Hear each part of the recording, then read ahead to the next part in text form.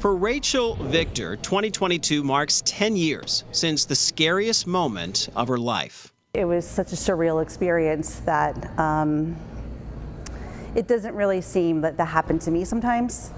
But then I see the scar, I have the dream, so it kind of comes back to me. It was the holiday season, and Rachel was alone with her then two year old son. A lot of pain in my stomach.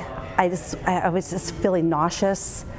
Uh, just a lot of pain. It, it was just unusual. Uh, I, I thought, and that was the nauseousness. I thought maybe it was food poisoning. When her husband arrived home, Rachel's condition rapidly deteriorated. By the time he got home from class, he had to carry me to the car. Rachel was hemorrhaging. Blood was pooling inside of her abdomen. Doctors rushed her to surgery. It was so happening so fast, I just couldn't really believe that it was happening. Rachel required four transfusions. Thankfully, there was just enough on hand. If no one gave blood, people like me wouldn't be here. We wouldn't be alive. And now she's helping to give back by regularly donating. On June 3rd, Rachel will organize her second blood drive at Quirk Kia in Manchester.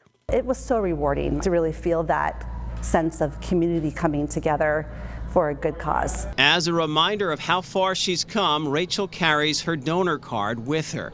She's hoping her life altering moment can lead to life altering habits for those around her. I'm very proud of it. I, th- I think it's part of a legacy I'm hoping to pass on to my kids to turn something that could have been a tragedy into something really, truly good. I feel like that's an honor for me and it's something that I'm proud of doing, and I'll continue doing it as long as I can. I'm Sean McDonald, WMUR News 9.